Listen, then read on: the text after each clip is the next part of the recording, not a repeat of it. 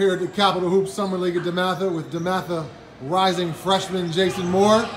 Jason, our Get Wright PT player of the game. Six points, a game high 10 rebounds tonight. Impressive win against Paint Branch. Talk to me about today's game.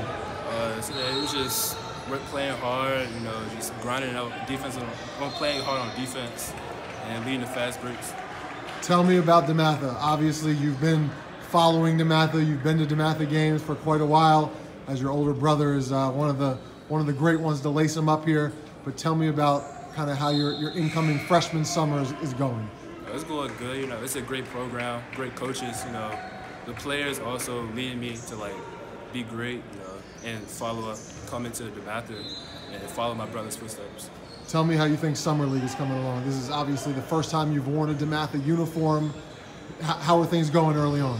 It's going good, you know, getting some time, you know, working, getting my way into the high school, like playing, you know, fast pace, just working hard. You're a football player as well.